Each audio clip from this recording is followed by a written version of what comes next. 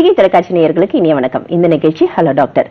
இந்த காலத்துல எல்லாரும் வந்து ஒரு அவசர உலகத்துல தான் வாழ்ந்துட்டு இருக்காங்க எனக்கு உடனடி தீர்வு வேணும். ஒரு தலைவலினா கூட உடனே மாத்திரை போட்டு உடனே சரியாயிடும் அடுத்த பத்து நிமிஷத்துல அப்படின்ட்டு ஒரு அவசரத்தை நோக்கி ஓடிக்கிட்டே இருக்கிறாங்க. காரணம் நிறைய சொல்லுவாங்க எனக்கு டைம் இல்ல எனக்கு இது செய்ய முடியாது அதை செய்ய முடியாது அப்படின்ட்டு நிறைய காரணங்கள் ஒவ்வொருத்தருக்குமே இருக்கும். இதனுடைய காரணமா நம்ம நவீன மருத்துவத்தை தேடி ஓட ஆரம்பிச்சிட்டோம். எந்த ஒரு பிரச்சனைனாலும் அதற்கு உடனடி தீர்வு தேவை அப்படிங்கறதுனாலதான் அறுவை சிகிச்சை மாதிரியான தீர்வுகளை நோக்கி நம்ம பயணிக்க ஆரம்பிச்சிட்டோம்.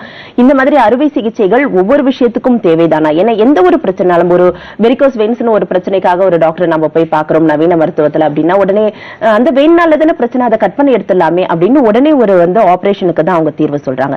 அப்புறம் அந்த நரம்பு நீக்கினதுக்கு அப்புறம் இந்த பிரச்சனை வராதா அப்படின்னு கேட்டா அது மிகப்பெரிய கேள்விக்குறியா இருக்கும்.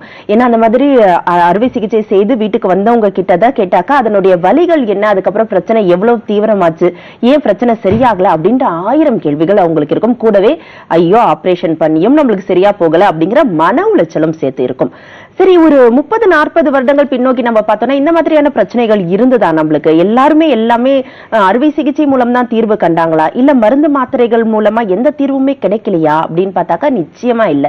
ஏன்னா நம்மளுடைய முன்னோர்கள் கொஞ்சம் நல்லாவே புத்திசாலிங்க. ஏன்னா நாம வந்து நம்ம தாத்தா பாட்டியெல்லாம் கொஞ்சம் கிண்டல் தான் பண்ணுவோம். உனக்கு ஒன்னும் தெரியாது. இந்த எங்களோட மாடர்ன் மெடிசன்ல தான் எல்லாம் இருக்கு அப்படின்னு சொல்லிட்டு பட் நம்மளை விட அவங்க தான் புத்திசாலிங்கன்னு சொல்லணும். ஏன்னா அவங்க வந்து ரொம்ப அழகா சித்தா ஆயுர்வேத மருத்துவ முறை மூலமா அறுவை சிகிச்சை இல்லாம சைடு எஃபெக்ட்ஸ் இல்லாம ரொம்ப அழகான ஒரு மருத்துவத்தை ஃபாலோ பண்ணாங்க. ரொம்ப இயற்கையோட கூடிய ஒரு மருத்துவ முறை அப்படின்னே சொல்லலாம். அந்த மருத்துவ முறைக்கு மறுபடியும் மாறுறதுக்கான ஒரு வாய்ப்பை ஏற்படுத்தி கொடுக்கிறது தான் ஸ்ரீவர்மா ஆயுர்வேத மருத்துவமனை உங்களுக்காக. எந்த ஒரு அறுவை சிகிச்சையும் இல்லாம சைடு எஃபெக்ட்ஸ் இல்லாம எந்த ஒரு நோய்க்கும் தீர்வு காண முடியும் அப்படிங்கிறது தான் இவங்களுடைய மோட்டோவே அது மட்டும் இல்லாம இன்னைக்கு varicose veins varicose ulcers disc prolapse அதாவது முதுகு தண்டு ஜவ்வு விலகல் இது சம்பந்தமான பிரச்சனைகள் உங்களுக்கு இருந்ததுன்னா அதற்கான தீர்வு இன்னைக்கு உங்களுக்காக காத்துட்டு இருக்கு. இது சம்பந்தமான விளக்கங்கள் தரதுக்காக ஸ்ரீ வர்மா ஆயுர்வேத மருத்துவமனையுடைய தலைமை மருத்துவர் டாக்டர் கௌதமன் நம்மிடையே இருக்காங்க. அவங்கள வரவேற்கலாம். வணக்கம் டாக்டர். வணக்கம். டாக்டர் தொடர்பு கொண்டு பேச வேண்டிய தொலைபேசி எண்கள் எல்லாருக்குமே தெரியும். பொதிகை தொலைக்காட்சி நேயர்களுக்கு சின்ன வேண்டுகோள் எப்பவும் போல ப்ளீஸ் உங்களுடைய டிவி வால்யூமை கம்ப்ளீட்டா குறைச்சிட்டு இந்த நம்பர்ஸ்ல நீங்க காண்டாக்ட் பண்ணி பேசலாம். சென்னை நேயர்கள் ஆறு நான்கு ஆறு இரண்டு எட்டு இரண்டு ஏழு பூஜ்ஜியம். வெளியூர் நேயர்கள் பூஜ்ஜியம் நான்கு நான்கு ஒன்று ஏழு பூஜ்ஜியம். ஏழு ஏழு. கைபேசி எண்கள் ஒன்பது நான்கு நான்கு நான்கு ஒன்பது பூஜ்ஜியம் ஒன்று பூஜ்ஜியம் ஒன்று ஒன்று. ஒன்பது நான்கு நான்கு நான்கு ஒன்பது பூஜ்ஜியம் ஒன்று பூஜ்ஜியம் இரண்டு ஒன்று. வெளிநாட்டு நேயர்கள் பூஜ்ஜியம் பூஜ்ஜியம் ஒன்பது ஒன்று நான்கு நான்கு இரண்டு ஐந்து மூன்று ஒன்பது ஏழு பூஜ்ஜியம் ஒன்று பூஜ்ஜியம். இந்த தொலைபேசி எண்கள்ல நீங்க தொடர்பு கொண்டு பேசலாம். பேசும்போது உங்களுடைய டிவி வால்யூமை கம்ப்ளீட்டா குறைச்சிருங்க குறைச்சிட்டு டாக்டர் கிட்ட போன்ல மட்டும் பேசுங்க. அதே மாதிரி என்ன மெடிக்கல் டேர்ம்ஸ்ல உங்களுக்கு வந்து கஷ்டங்கள் இருக்கோ இல்ல என்ன மாதிரியான பிரச்சனைகளை நீங்க ஃபேஸ் பண்றீங்களோ கொஞ்சம் ஷார்ட்டா கிறிஸ்பா சொன்னீங்கன்னா அடுத்து வர நேயர்களுக்கும் வந்து அவங்களுடைய கஷ்டங்களை சொல்லி தீர்வு காண்றதுக்கு ரொம்பவே ஈஸியா இருக்கும். அதே மாதிரி செல்போன்ல பேசுனீங்கன்னா டிவியை விட்டு கொஞ்சம் நகர்ந்து வந்து நீங்க பேசுங்க. வைப்ரேஷன் சவுண்ட் கேட்காம இருக்கும். உங்களுடைய வாய்ஸ் எங்களுக்கு கிளியராக கேட்கும். சொல்லக்கூடிய தீர்வு உங்களுக்கு வந்து சேரும். அதனால இந்த விஷயங்கள்லாம் கட்டாயமா ஃபாலோ பண்ணுவீங்க அப்படிங்கிற நம்பிக்கையோட என்னுடைய கேள்விக்கு நான் போகலாம்னு நினைக்கிறேன். டாக்டர் இப்போ நம்ம பார்த்துட்டு இருக்கிற இந்த நவீன உலகத்துல எல்லாருமே நான் சொன்ன மாதிரி கடகடன் உடனே தீர்வு தேவை அப்படின்னு சொல்றாங்க. இது எந்த அளவுக்கு தவறான ஒரு விஷயம்? ஏன்னா மனதளவுல அந்த ஒரு மாற்றம் ஏற்பட்டுருச்சு. எனக்கு இந்த வேலையை பார்க்கணும் எனக்கு ரெகுலரா ஆஃபீஸ் போற வேலைகள் தரப்படக்கூடாது. என்னோட பிசினஸ் பாழா போயிடும் நான் ஒரு ட்ரீட்மெண்ட்னு போனேன்னா அப்படின்னு. இந்த மாதிரி தான் நிறைய பேஷண்ட்ஸ் உங்ககிட்டயும் வந்திருப்பாங்க. முதல்ல அவங்களுக்கான தீர்வா நீங்க என்ன சொல்வீங்க? ஒரு கவுன்சிலிங் கொடுப்பீங்களா அவங்களுக்கு? அப்படி இல்லை. பொதுவாக பார்த்தீங்கன்னா இன்றைக்கு நம்ம எல்லாருக்குமே ஒரு தவறான கருத்து என்ன இருக்குன்னு கேட்டிங்கன்னா ஆயுர்வேத முறையோ சித்த முறையோ நம்ம ஃபாலோ பண்ண ஆரம்பிச்சோம்னா நமக்கு தீர்வுகள் கிடைக்கிறதுக்கு ரொம்ப நாள் ஆகும் அப்படிங்கிறது பொதுவாக நமக்கு இருக்கக்கூடிய ஒரு தவறான கருத்துன்னு தான் நான் சொல்லுவேன். பொதுவாக இன்றைக்கு வந்து ஒரு மூட்டு மாற்று அறுவை சிகிச்சை அப்படிங்கிற ஒரு விஷயம் நம்ம எடுத்தாலோ அல்லது முதுகுத்தண்டு சம்பந்தப்பட்ட அறுவை சிகிச்சை அப்படிங்கிறது நம்ம எடுத்தாலோ ரிகவரி ஆகிறதுக்கு குறைந்தது ஆறு மாதத்துல இருந்து ஒரு வருடம் அப்படிங்கிறது தேவை. நீங்கள் நினைக்கிற மாதிரி இன்னைக்கு சர்ஜரி பண்ணிட்டு நாளைக்கு நடக்க முடியுமானா அப்படிலாம் கிடையாது. ஆனால் ஆயுர்வேத மருத்துவ முறையும் சித்த மருத்துவ முறையும் பொறுத்தவரையிலும் நம்ம செய்யக்கூடிய பஞ்சகர்ம சிகிச்சைகள் அப்படிங்கிற ஒரு விஷயத்தை நம்ம பண்ண ஆரம்பிச்சோம்னா ஒரு இரண்டிலிருந்து ஆறு வாதத்துக்குள்ள நம்மளோட கண்டிஷன் ரொம்ப நல்லா இம்ப்ரூவ் ஆகிறத நம்ம பார்க்க முடியும் நம்பர் ஒன் நம்பர் டூ நம்ம தேவை வந்து ஒரு நோயுடைய அறிகுறி குறைய வேண்டுமா? அல்லது நோய் வந்து முற்றிலும் குணமாகணுமா அப்படிங்கிறத நம்ம பார்க்கணும். இன்றைக்கு அறுவை சிகிச்சை செய்து கொண்டவர்கள் நூற்றுல தொண்ணூற்றி ஒன்பது பேரை நீங்கள் கேட்டிங்கன்னா முதுகுத்தண்டு அறுவை சிகிச்சை செய்த பிறகு எந்த வகையில முன்னேற்றம் இருக்குன்னு கேட்டீங்கன்னா நிச்சயமா வலிகள் ஓரளவுக்கு குறைவா இருக்குன்னு சொல்லுவாங்களே தவிர ஆனா அந்த முதுகுத்தண்டு சம்பந்தப்பட்ட பிரச்சனைகள் உதாரணத்துக்கு சொல்லணும்னா கால் மரத்திற்கு அப்படின்னு சொல்லக்கூடிய பிரச்சனை வெயிட்டு தூக்கும்போது ஏற்படக்கூடிய வலி பிரயாணம் செய்யும் போது ஏற்படக்கூடிய வலி இதுல ஏதாவது மாற்றம் இருக்கா அப்படின்னு கேட்டிங்கன்னா நிச்சயமா மாற்றம் இருக்காது. அதே போல முதுகுத்தண்டு சவ்வு விலகல் மிக அதிகமாக இருந்து அறுவை சிகிச்சை செய்து கொண்டவர்களுக்கு அறுவை சிகிச்சைக்கு முன்னாலேயும் பின்னாலேயும் என்ன வித்தியாசம் இருக்கு அப்படின்னு கேட்டிங்கன்னா மிகப்பெரிய அளவுல வித்தியாசம் இல்லை அப்படின்னு தான் சொல்லுவாங்க. ஏன்னா என்னை பார்க்க வரக்கூடிய நோயாளிகள்ல நூறு பேர்ல கிட்டத்தட்ட ஒரு நாற்பது பேர் பார்த்தீங்கன்னா அறுவை சிகிச்சை முடிந்து எங்களுக்கு அதுல நல்ல மாற்றம் கிடைக்கவில்லை. நாங்க இப்ப என்ன பண்ண முடியும் அப்படிங்கிற ஒரு கேள்வியோட தான் வரதை நம்ம பார்க்க முடிகிறது. அதனால ஆயுர்வேத முறையாக இருந்தாலும் சரி சித்த மருத்துவ முறையாக இருந்தாலும் சரி நம்மளுடைய குறிக்கோள் அப்படிங்கிறது உடலில் இருக்கக்கூடிய பலவீனத்தை நீக்கி இப்ப முதுகுத்தண்டு வலியோ அல்லது மூட்டு வலியோ எதாக இருந்தாலும் அந்த இடத்தில் இருக்கக்கூடிய பலவீனத்தை நீக்கி அந்த இடத்தில் இருக்கக்கூடிய திசுக்கள் தசை நார்கள் முட்டுகளுக்கு இடையே இருக்கக்கூடிய எண்ணெய் பசை இந்த மாதிரி நம்மளுடைய முறைப்படி நம்மளுடைய ஆயுர்வேத முறையில் இருக்கக்கூடிய அனாட்டமிக்கலாக நம்ம புரிஞ்சு கொள்ளக்கூடிய விஷயங்கள் ஃபிசியாலஜிக்கலாக நம்ம புரிஞ்சு கொள்ளக்கூடிய விஷயங்கள் இதெல்லாம் நம்ம அண்டர்ஸ்டாண்ட் பண்ணி தேவைப்பட்டால் சில வர்ம சம்பந்தப்பட்ட சிகிச்சைகளையும் உபயோகப்படுத்தி நம்ம படுத்தும் சிகிச்சை கொடுக்கும்போது பார்த்தீங்கன்னா நிச்சயமாக பார்த்தீங்கன்னா இரண்டு மாதம் அல்லது மூன்று மாதத்திலேயே அறுவை சிகிச்சை செய்து கொள்வதை காட்டிலும் நல்ல பலன் கிடைக்கிறத நம்ம பார்க்க முடியும்.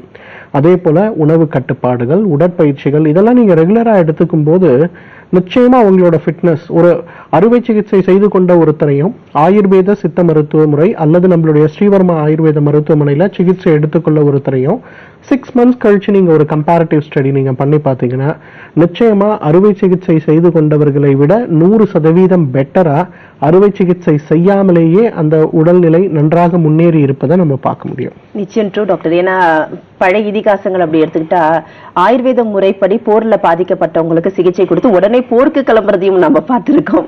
அதனால அறுவை சிகிச்சை இல்லாத ஒரு தீர்வு கிடைக்கும் போது நம்ம ஆயுர்வேதத்தை நாடுறதுல தவறே இல்லை அப்படின்னு சொல்லலாம்.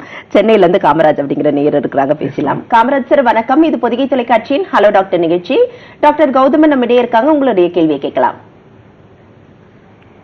வணக்கம் மேடம். என் பேர் காமராஜ் பேசுறேன் மேடம். நான் சென்னை பல்லாவத்துலேருந்து பேசுறேன். சரிங்க சார். டாக்டர் இருக்காங்க. உங்களுடைய கேள்வி கேளுங்க. வணக்கம் கௌதம் டாக்டர். வணக்கம்மா. டாக்டர் இப்போ என் வீட் என் வீட்டில் வந்து ரொம்ப வழுக்கிற மாதிரி டைல்ஸ் போட்டிருக்கோம். இதனால குழந்தைங்க அதுல நடக்கிறதால இல்லைன்னா பெரியவங்க நடக்கிறதால முதுகு தண்டு பாதிப்பு எதனாச்சும் இருக்கா? இல்லைன்னா குழந்தைங்க விளையாடும் போது முட்டி போடுறது எவ்வளவு நாள் அலோவ் பண்ணலாம்? ஏன்னா பத்து மாசத்துல என்னுடைய குழந்தை வந்து முட்டி போடுறான். அவ ரொம்ப நேரம் முட்டி போட விடலாமா?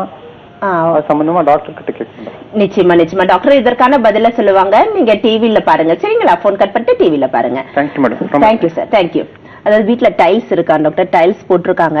டைல்ஸில் வந்து நடக்கிறது முதுகு தண்டு சம்பந்தப்பட்ட பிரச்சனைகள் வருமா அப்படிங்கிற ஒரு டவுட் இருக்குது அதே மாதிரி அவங்களுக்கு பத்து மாதத்தில் ஒரு குழந்தை இருக்காங்களாம் கை குழந்தை.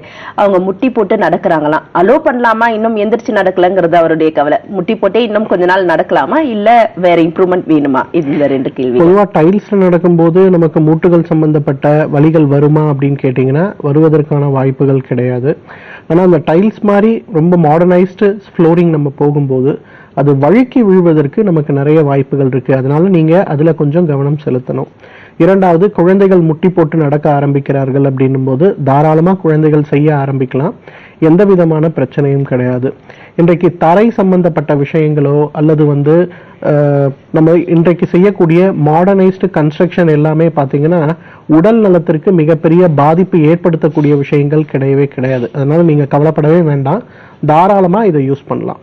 நிச்சயமா டாக்டர் சூப்பரான ஒரு விளக்கம் சொன்னீங்க. ஏன்னா குழந்தைகளுக்கான விஷயமும் சொன்னீங்க. இதுல டைல் சம்பந்தப்பட்ட விஷயங்கள் என்னென்ன இருக்கு அப்படிங்கறதையும் சொன்னீங்க. இப்போ வந்து மூட்டு வலி சம்பந்தப்பட்ட விஷயங்களுக்கு டைல்ஸ்ல படுத்து தூங்கக்கூடாது. அந்த டைல்ஸ் ஃப்ளோரிங்ல அப்படியே படுத்து தூங்குனாக்க அந்- அதனால வந்து முட்டிகள் சம்பந்தப்பட்ட பிரச்சனை வரும் அப்படிங்கிறது ஒரு இதுவா இருக்கு. ஏன்னா இதுக்கு முன்னாடி டைல்ஸ் ஃப்ளோரிங் கிடையாது எங்கேயுமே. எல்லா இடத்துலயும் சிமெண்ட் ஃப்ளோரிங் இல்லைன்னா இன்னும் இன்னும் முன்னோக்கி போனா பாயில படுத்து தூங்குற பழக்கம் இருந்தது. இப்ப அதெல்லாம் ஒண்ணுமே கிடையாது. நல்ல ஃப்ளோர்ல அப்படியே டைல்ஸ் மார்பிள்ஸ் மார்போனைட் அப்படின்னு போயாச்சு அப்படிங்கிறதுனால அப்படியே அப்படியே படுத்து தூங்க ஆரம்பிச்சாச்சு. இன்னும் சொன்னா மண்தரையில சாணம் பூசி படுத்த காலத்துல யாருக்கும் எந்த நோயும் வரல அப்படின்னு நினைக்கிறேன். பொதுவா தரையில படுக்கிறது அப்படிங்கிறது நிச்சயமா உடல் வலியை அதிகப்படுத்தக்கூடிய ஒரு விஷயம். அதனாலதான் நம்ம முன்னோர்கள் பாத்தீங்கன்னா பாயோ அல்லது பெட்ஷீட்டோ ஏதோ ஒரு துண்டு போட்டு அது மேலதான் படுப்பாங்க. நேரடியாக தரையில் படுக்கும்போது அந்த தரையில் இருக்கக்கூடிய குளிர்ச்சி தன்மை நம்ம தசைகளை பாதிக்கும் போது எலும்பு சம்பந்தப்பட்ட மூட்டு சம்பந்தப்பட்ட பிரச்சனைகள் வருவதற்கு நமக்கு நிறைய வாய்ப்புகள் உண்டு. ஆனால் இன்றைக்கு நிறைய கன்ஸ்ட்ரக்ஷன் அதே போல் ஃபர்னிச்சர் ரிலேட்டடான அட்வான்ஸ்மெண்ட் வந்ததுனால தரையில் படுக்கின்ற பழக்கம் அப்படிங்கிறது பெரும்பாலும் நம்ம யாருக்குமே கிடையாது. பெரும்பாலும் பார்த்தீங்கன்னா பாயோ இல்லது வந்து ஒரு மெத்தையோ போட்டு தான் படுக்கிற பழக்கத்தை நம்ம வச்சுருக்கோம். அதுவும் நல்லதும் கூட.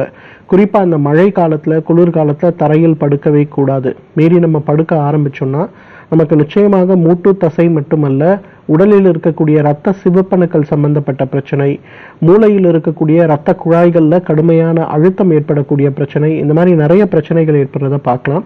அதனால வெறும் தரையில் படுத்து தூங்குகின்ற பழக்கத்தை தவிர்ப்பது நல்லது. நிச்சயமா. சூப்பரான ஒரு விஷயம் சொன்னீங்க டாக்டர். இப்போ வெரிகோஸ் வெயின்ஸ் இருக்கக்கூடிய நிறைய பேருக்கு வந்து கால்கள்ல அரிப்பு ஏற்படுறதும் அதனால வந்து ஒரு மாதிரி கருப்பு கருப்பா ஆகிறதும் நம்ம பாக்குறோம் இதற்கான தீர்வுகள் சொல்லுங்க டாக்டர். அதுக்கு முன்னாடி கோவையில இருந்து விமலா அப்படிங்கிற நேயர் இருக்காங்க பேசலாம். விமலா மேடம் வணக்கம். இது பொதிகை தொலைக்காட்சியின் ஹலோ டாக்டர் நிகழ்ச்சி. உங்களுடைய கேள்வி நம்ம டாக்டர் கிட்ட கேட்கலாம்.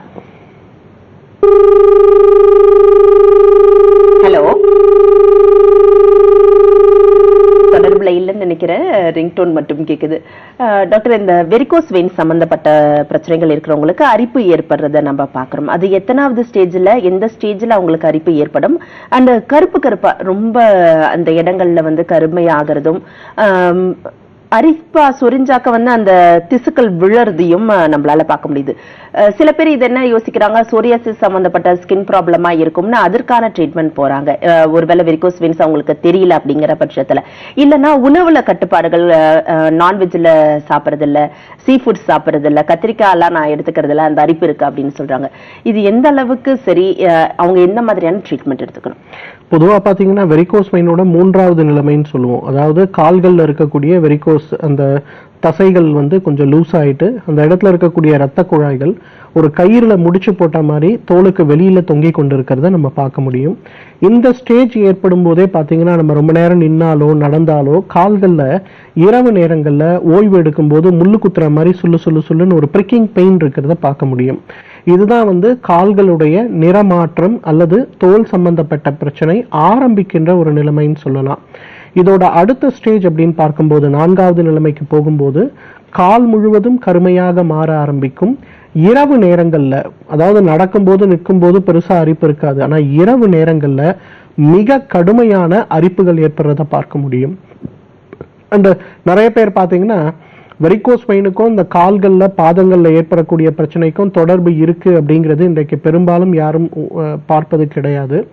ஆனால் கால்களில் ஏற்படக்கூடிய அரிப்புகள் குறிப்பாக நின்று வேலை செய்பவர்கள் நிறைய பெண்கள் மன அழுத்தம் அதிகமாக இருப்பவர்கள் இவர்களுக்கெல்லாம் கால்களில் அரிப்பு ஏற்பட்டது அப்படின்னா நிச்சயமாக அவர்களுக்கு எக்ஸ்டர்னல் ஆர் இன்டர்னல் எக்ஸ்டர்னல் சொல்லக்கூடியது வெளியில் இருக்கக்கூடிய வெரிகோஸ் வெயின் அதே போல உள்ளே இருக்கக்கூடிய இரத்த குழாய்களிலும் இதே போல நமக்கு பாதிப்பு ஏற்படுவதற்கு நிறைய வாய்ப்புகள் இருக்கிறத பார்க்க முடிகிறது. ஸோ இந்த மாதிரி ஒரு பிரச்சனை ஏற்படும் போது ஒரு டெர்மட்டாலஜிஸ்ட்டை போய் பார்க்கறது ஒரு விஷயமாக இருந்தாலும் ஒரு ஆயுர்வேத அல்லது சித்த மருத்துவரையோ அல்லது ஸ்ரீவர்மா ஆயுர்வேத மருத்துவமனைக்கோ வந்து ஒரு முறை உங்களுடைய கால்களை ஃபிசிக்கல் எக்ஸாமினேஷன் பண்ண வச்சுக்கிறது அப்படிங்கிறது ரொம்ப ரொம்ப முக்கியம். ஏன்னா நிறைய பேரை நான் பார்த்துருக்கேன். நான் இருபது வருஷமாக அந்த தோலுக்காக ட்ரீட்மெண்ட் எடுக்கிறேன் அப்படின்னு சொல்லிட்டு வருவாங்க. அப்புறம் கடைசியில் அவங்களோட காலை எக்ஸாமின் பண்ணி பார்த்தா அவங்களுக்கு நான்காம் நிலை வெரிகோஸ் வெயின் இருக்கிறத நம்ம பார்ப்போம். அந்த வெரிகோஸ் வெயினுக்கான ட்ரீட்மெண்ட் கொடுக்கும்போதே பார்த்தீங்கன்னா தோல் கிடுகிடுன்னு நார்மலுக்கு ஆகிறத நம்ம பார்க்க முடியும். ஸோ அதனால் நம்ம செய்ய வேண்டியது நம்மளுடைய மருத்துவமனையுடைய கிளைகள் பார்த்தீங்கன்னா பாண்டிச்சேரியில் இருக்குது சென்னையில் வந்து கோடம்பாக்கத்தில் இருக்குது அம்பத்தூரில் இருக்குது திருவள்ளூரில் இருக்குது பெங்களூர் மற்றும் ஓசூரில் இருக்குது நம்மளுடைய மருத்துவர்கள் மாத வா- மாதத்திற்கு ஒரு முறை பார்த்தீங்கன்னா வேலூருக்கு மருத்துவ முகாம் வராங்க திருச்சி மதுரைக்கு மருத்துவ முகாம் வராங்க. ஸோ இந்த லொக்கேஷன்ஸில் நீங்கள் இருக்கீங்கன்னா ஒரு முறை நம்ம மருத்துவமனையை தொடர்பு கொண்டு மருத்துவர்களை என்றைக்கு வராங்கன்னு பார்த்துட்டு வந்து இலவசமாகவே மருத்துவ ஆலோசனை பெற்றுக்கொள்ளலாம். இந்த மருத்துவ ஆலோசனைக்கு எதுவும் கட்டணம் தேவையில்லை. ஒருவேளை உங்களுக்கு வெரிகோஸ் பெயினுடைய மூன்றாவது நிலைமை நான்காவது நிலைமை இருக்கு அல்லது வெரிகோஸ் அல்சர்னு சொல்லக்கூடிய கால்களில் இருக்கக்கூடிய புண்கள் இருக்கு அப்படிங்கறத நம்ம டயக்னோஸ் பண்ணோம்னா அதற்கு தேவையான முறையான உணவு கட்டுப்பாடுகள் என்ன மருந்துகள் தேவை என்ன உடற்பயிற்சிகள் தேவைங்கிறத பத்தி டீட்டெயிலாக சொல்லி கொடுப்பாங்க. அதை நீங்க ஃபாலோ பண்ண ஆரம்பிச்சாலே நிச்சயமா இதை சீக்கிரமா குணப்படுத்த முடியும். நிச்சயமா. சாதாரண பிரச்சனைன்னு விட்டுறாம போய் எக்ஸாமினேஷன் பண்ணிக்கிறது ரொம்பவே கரெக்ட் அப்படிங்கறது சொல்லியிருக்கீங்க டாக்டர் கோவையில இருந்து கனகராஜ் அப்படிங்கிற நேயர் இருக்காங்க பேசிடலாம். கனகராஜ் சார் வணக்கம். இது பொதிகை தொலைக்காட்சியின் ஹலோ டாக்டர் நிகழ்ச்சி. உங்களுடைய கேள்வியை நம்ம டாக்டர் கிட்ட கேட்கலாம். கனகராஜ் சார் டிவி வால்யூமை கம்ப்ளீட்டா குறைச்சிடுங்க. குறைச்சிட்டு டாக்டர் கிட்ட பேசுங்க. சரிங்களா? நான் கனகராஜன் கோயம்புத்தூர் மாவட்டத்துல பேசுறேங்க சார். ஆ சரிங்க. அடிக்கடி அலர்ஜி ஜாஸ்தியா வருதுங்க. அலர்ஜி வருதுங்களா உங்களுக்கு? ஆமாங்க தலை சுத்தல் ஜாஸ்தியா இருக்குதுங்க. தலை சுற்றல் இருக்கு அலர்ஜி இருக்கு. ஓகே சார் டாக்டர் கிட்ட செக்அப் பண்ணுங்க. சரிங்க. எதுவுமே இல்ல. ஆ, சரியாயிருக்குன்னு சொன்னாங்க. எதுவும் இல்ல சரியாயிடும் சொல்லிட்டாங்களா? உங்களுக்கு வயசு என்ன ஆச்சு சார் நாற்பத்தி ரெண்டுங்க என்ன மாதிரியான வேலை பாக்குறீங்க சார் விவசாயம் பண்றாங்க. விவசாயம் பண்றீங்க. சரிங்க சார் நீங்க வந்து போனை கட் பண்ணிடுங்க. பிபி சுகர் ஏதாவது இருக்குங்களா உங்களுக்கு? அதெல்லாம் இல்லைங்க. ஆரோக்கிய- தோட்டத்துல போக முடியாது. தூக்கி மாதிரி இருக்குதுங்க. சரிங்க. அலர்ஜி இருக்கு. அலர்ஜினா எந்த மாதிரியான அலர்ஜி இருக்கு சார் உடம்பு பூரா அரிப்பு மாதிரி இருக்கா? இல்லைன்னா வேற ஏதாவது ஒவ்வாமை இருக்குங்களா? கை கால் நடுக்கம் வருது கை கால்ல நடுக்கம் இருக்கு தலை சுற்றல் இருக்கு. அப்படிதானே? ஆமாங்க கண்ணெல்லாம் பொறி கட்டின மாதிரி இருக்குது கண்ணெல்லாம் பொறி தட்டின மாதிரி இருக்கு. சரிங்க டாக்டர் ஆடியெல்லாம் ஏறி வேலை செய்ய முடியறது இல்லைங்க எதுவும் ஏறி கொண்டு வேலை செய்ய முடியறது இல்ல ஆமா கீழே தூக்கி வீசின மாதிரி இருக்குதுங்க சரிங்க கட்டாயமா உங்களுக்கான தீர்வை நம்ம டாக்டர் சொல்லுவாங்க. நீங்க வந்து ஃபோன் கட் பண்ணிட்டு டிவில பாருங்க சார். சரிங்களா? Thank you sir thank you sir thank you தலை சுற்றல் இருக்கா டாக்டர்? அலர்ஜிஸ் அந்த மாதிரி ஒவ்வாமை சொல்றாங்க. பொதுவா பாத்தீங்கன்னா இந்த மாதிரி அலர்ஜி ஒவ்வாமை சம்பந்தப்பட்ட பிரச்சனைகள் ஏற்படும் போது அதற்கான காரணம் என்ன அப்படிங்கறத நம்ம பார்க்கணும். இன்றைக்கு பெரும்பாலும் அலர்ஜி சைனஸ்க்கு நிறைய பேர் சொல்லுவாங்க நான் அந்த மருத்துவரை பார்த்தேன் நான் பதினைந்து வருடமாக மருந்து சாப்பிட்றேன் இருபது வருடமாக மருந்து சாப்பிட்றேன் எனக்கு பெரிய குணம் கிடைக்கல அப்படிம்பாங்க. காரணம் என்னவாக இருக்கும் அப்படின்னு பார்த்தீங்கன்னா சரியாக தூக்கம் இல்லை அப்படிங்கிறது ஒரு காரணமாக இருக்கும். இரண்டாவது பார்த்தீங்கன்னா நம்ம சாப்பிடக்கூடிய உணவில் இருக்கக்கூடிய புளிப்பு சம்பந்தப்பட்ட பொருட்கள் ஒரு காரணமாக இருக்கும். அதிக சிந்தனை ரொம்ப நிறைய வந்து ராத்திரியில் தூங்காமல் ரொம்ப கவலைகளை பற்றி நெகட்டிவ் திங்கிங் சொல்லக்கூடிய எதிர்மறை எண்ணங்கள் நமக்கு அதிகமாக இருந்தால் இந்த மாதிரி அலர்ஜி சம்பந்தப்பட்ட பிரச்சனை அதிகமாகிறத நம்ம பார்க்க முடியும். நம்மளுடைய அலர்ஜி சம்பந்தப்பட்ட பிரச்சனைகளை குணப்படுத்துவதற்கு ஸ்ரீவர்மா ஆயுர்வேத மருத்துவமனையில் பார்த்தீங்கன்னா சினட் கேப்சூல்ஸ் அப்படின்னு சொல்லக்கூடிய ஒரு மாத்திரை. இந்த சினட் கேப்சூல் மாத்திரை வந்து காலை இரண்டு மதியம் இரண்டு இரவு இரண்டு உணவுக்கு முன்பு எடுத்துக்கலாம். இந்த தலை சுற்றல் சம்பந்தப்பட்ட பிரச்சனைக்கு மகாராஜா கேப்சூல்ஸ்னு சொல்லக்கூடிய மாத்திரை அதை காலை இரண்டு மதியம் இரண்டு இரவு இரண்டு உணவுக்கு பின்பு எடுத்துக்கலாம். இந்த ரெண்டு மாத்திரைக்குமே நீங்க என்ன பண்ணலாம்னா நம்மளுடைய மருத்துவமனையை தொடர்பு கொண்டு நம்ம மருத்துவமனையில மிஸ்ஸஸ் சுமதி அப்படிங்கிறவங்க இருக்காங்க. அவங்க கிட்ட நீங்க பேசுனீங்கன்னா உங்களுக்கு தேவையான மருந்துகளை நேரடியாக உங்களுடைய வீட்டுக்கு கிடைக்கிற மாதிரி அனுப்பி வைப்பாங்க. குறைந்தது ஒரு ஆறு மாதம் இதை ஃபாலோ பண்ணிங்கன்னா ரொம்ப வேகமாக இந்த பிரச்சனை குணமாகிறத நம்ம பார்க்க முடியும். ஒருவேளை நீங்கள் சென்னை வருவதற்கோ அல்லது பெங்களூர் வருவதற்கோ ஒரு வாய்ப்பு இருக்குது அப்படின்னா இந்த சனி ஞாயிறு இரண்டு நாட்கள் என்னை பெங்களூர் மருத்துவமனையில் காலையில் எட்டுல இருந்து மாலை மூணரை மணி வரலும் சந்திக்கலாம். அதே போல் ஒசூர் மருத்துவமனையில் இந்த சனி ஞாயிறு என்ன சாயந்தரம் ஆறரை மணியிலிருந்து இரவு ஒன்பதரை மணி வரையிலும் சந்திக்கலாம்.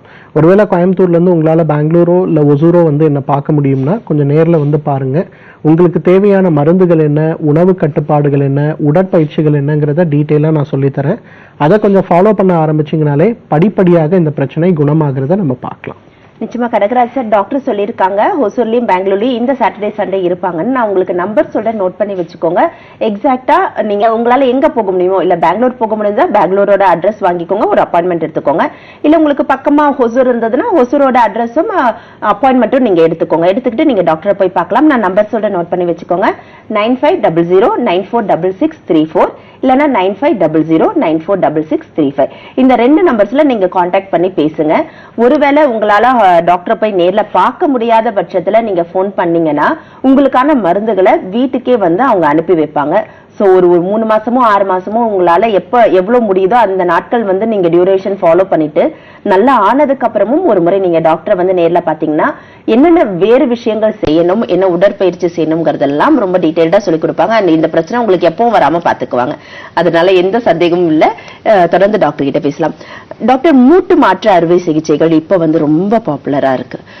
ஏதோ ஒரு பிரச்சனை அப்படின்னா நம்ம நிறைய பிளேயர்ஸ் பாக்குறோம். ஃபுட்பால் பிளேயரோ இல்ல டென்னிஸ் பிளேயரோ அத்லெட்டிக்ஸ் கூட அந்த மூட்டு சம்பந்தப்பட்ட பிரச்சனைகள்ல கஷ்டப்படுறதையும் அவங்க போயிட்டு ஒரு மூட்டு மாற்று அறுவை சிகிச்சை பண்ணிக்கிறதையும் பாக்குறோம்.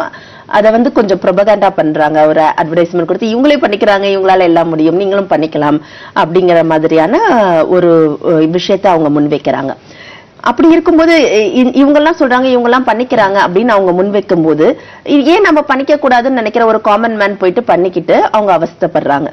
சோ மூட்டு மாற்று அறுவை சிகிச்சை தான் தீர்வு அப்படின்னு சொல்ற இடத்துல மூட்டு மாற்று அறுவை சிகிச்சை இல்லாமையே நம்மளுடைய ஆயுர்வேதத்துல எப்படி வந்து இதற்கான தீர்வுகளை உங்களால பலமா கொடுக்க முடியுது அப்படிங்கறத நீங்க விரிவா சொல்லணும். அதுக்கு முன்னாடி இன்னொரு நேயர் இருக்கிறாங்க சின்னையாங்கிற நேயர். பேசலாம். வணக்கம் சார். இது பொதிகை தொலைக்காட்சியின் ஹலோ டாக்டர் நிகழ்ச்சி. டாக்டர் இருக்காங்க உங்களுடைய கேள்வியை கேட்கலாம். சின்னையா சார் டிவி வால்யூமை கம்ப்ளீட்டா குறைச்சிருங்க. தொண்ணூத்தி அஞ்சுல இருந்து சுகர் இருக்கு. சரிங்க. சரி சரி. தொண்ணூத்தி அஞ்சுல இருந்து எனக்கு சுகர் இருக்கு. சரி. இப்ப வந்து கையும் காலும் கடுப்பு ஓவரா ஜாஸ்தியா இருக்கு. ஆத்துல எல்லாம் தூக்கம் இல்லாம இருக்கு. சரிங்க. இப்ப அதான் எனக்கு ப்ராப்ளம் என்ன வயசாச்சுங்க உங்களுக்கு? எனக்கு கரெக்டா அறுபது. அறுபதாச்சு. தொண்ணூத்தி அஞ்சுல இருந்து சுகர் சுகர் ஆனா சக்கரை கண்ட்ரோல்ல வச்சிருக்கீங்களா? இல்ல சர்க்கரை வந்து கொஞ்சம் இன்சுலினும் மாத்திரையும் எடுத்துட்டு இருக்கேன் அந்த சர்க்கரை பாதிப்புனால கண்ணு பார்வை கொஞ்சம் கம்மியா இருக்கு பல்லெல்லாம் கொட்டி போச்சு. இந்த கா ரெண்டு மூணு ஆபரேஷன் ஆயிருக்கு. இந்த அப்பண்டிக்ஸ் இந்த யூரின் ஆகி சரி. இந்த மாதிரி நிறைய இது எனக்கு ஆபரேஷன் பண்ணியிருக்கான். சரி. இருந்தாலும் இப்போ வந்து இந்த கடுப்பு கையும் காலும் கடுப்பு இந்த உணர்வு இல்லாத மாதிரி இந்த இடது கையெல்லாம் ரொம்ப அதிகமான உணர்வு இல்லாத மாதிரி ஆயிடுச்சு. சரிங்க. சரிங்க. நீங்க தொலைபேசி வச்சிருங்க. உங்களுக்கான தீர்வை நான் டீட்டெயிலாக சொல்லித்தரேன். சரி இதை இதை போ- இதை போன வச்சிடணுமா? ஆ வச்சிருங்க.